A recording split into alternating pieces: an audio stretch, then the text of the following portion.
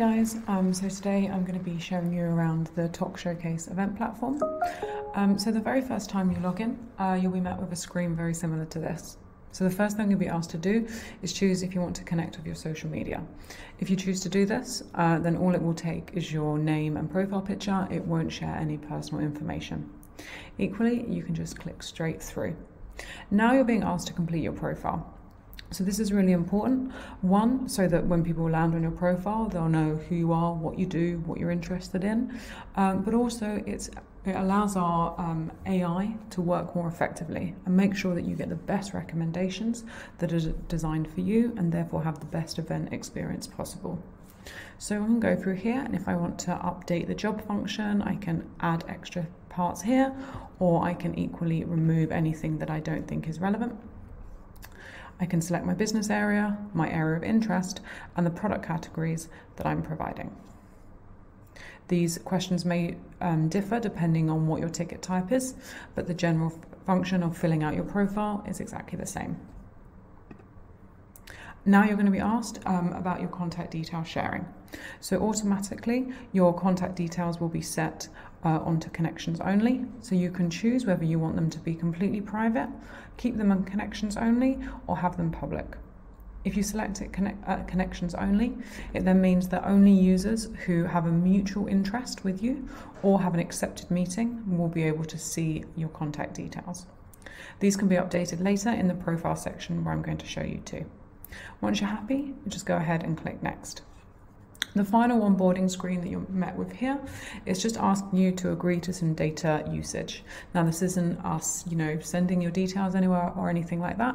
This is purely so that our AI can get smarter over time and learn from the way you behave and other users behave to overall make the AI smarter.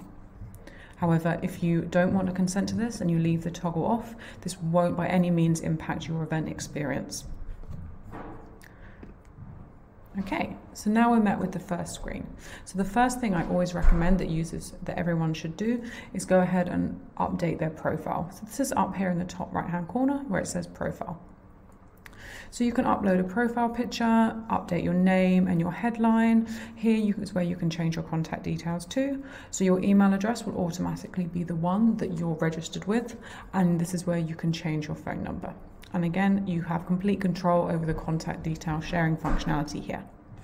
Here you can update the profile information again or add anything new. So job title, company, your location, and then the other fields here. And you also have the option to write a summary. Once you're happy, go ahead and click update profile. Now also on the profile section, there's one other aspect I want to draw your attention to, which is the manage my availability. You can go in and block out the days which you are or not available uh, at the beginning of each week to make sure that you only get meeting requests at times that work well for you. Okay, and that is the profile section. So now heading back to the main screen, I'm now going to be moving on and talking about the networking functionality. So you'll see at the top here, we've got the recommended for you section. These are recommendations that are created just for you and they're based on your profile information and the profile information of others and the way that the AI believes that people will want the people you will want to see. So what you can do is you can go through here and you can show interest and you can skip on different users. You'll see if you always see a set of 10 here. When you move through the first set of 10, another set of 10 will be generated. However, the second set of 10 will not only take into account the profile information that is used for the matching, it will also take into account the behavior you just exhibited as you were going through the recommendations. So the more you use the recommendations and the more you engage with it, the smarter and the better your recommendations will become over time. So down here on the side, we can see anybody that I'm interested in, that I say show interest, will appear here in my interest list. Anybody that I skip on will appear here in my skip list. And I've also got interested in you. So anybody who has shown interest on me will appear up here. And I know that there's a new one that I'm yet to respond to because I see the number here. So I click through to this. So I can see here that Claire um, from Grip is interested in me. I've got a potential handshake. So say I'm interested in responding, I'm going to go ahead and show interest back. This then creates a handshake or a connection. So a couple of things have just happened. You can see that Claire has appeared up here in my connections tab. Because we are now connected, it means that I can speak with her. I can choose to send her a message, hey, how are you? Um, and communicate with her that way and really open a dialogue. Equally, what I can do is go straight through to Claire's profile and I can request a meeting. So we can see here down the right hand side that I can request a meeting. So requesting a meeting, I can either have it uh, just myself and the invitee Claire, or equally I can add further participants. So say perhaps um, I'm speaking, I've after chatting with Claire, I think actually I'd like to um, invite my colleague Dan into this meeting as well. I can easily do that. Just going to go ahead and remove him for this purpose though. So here we see the date and the times that are available and the meeting location here. You can also pop in a personal message. We really recommend adding a message when sending a meeting request, unless it's something you've already agreed to, because it really makes sure it increases the um, chance of being accepted by about 30%, adding that personal edge. So I'm just going to go ahead and click send here. Okay, now the meeting's been sent, I can also add further invitees if I still want to and I can see here the status. So me as the organizer, I've obviously accepted, and Claire is yet to re respond. We can see here it's pending. If she declined it, then this would turn into a red X. I can see all my pending meetings by sitting here in my schedule. So here I can see that this is a waiting response. If it's been accepted, this will say in, turn into a green accepted, or if it's declined, it will say red undeclined. If someone has requested a meeting of me and I'm yet to respond, this will be the same orange colour, but it will say pending because I'm the one that hasn't responded yet.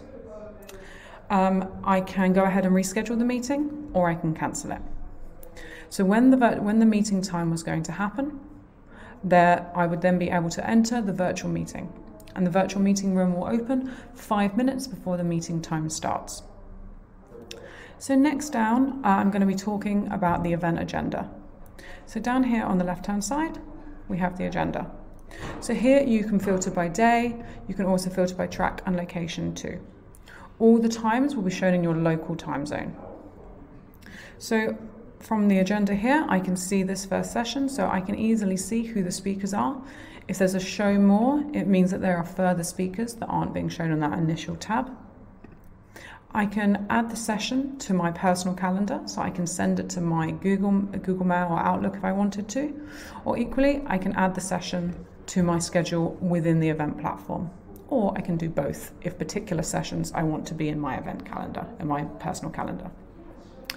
Now, when the session time starts, there'll be a little red button that will say live now. And what you do is you click into the session and then the stream would appear here and I would click watch. Okay. Further down the right hand, the left hand side on the navigation items, we've got the different lists of people and users attending.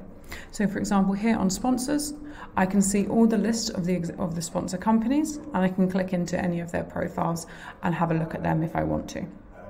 Equally, we've got the delegates and representatives. And the, this is where the profile information is again very important because you will be able to filter by your people will be able to filter by the profile information. So if you don't want to use the recommendations and you want to go ahead and actually search for the kind of people you're looking to meet, you can do that here. Then we also have speakers and products too. So the final part I'm going to show you is the exhibitor portal. So if you're if you're not an exhibitor, then this part won't be relevant to you. So enjoy the event.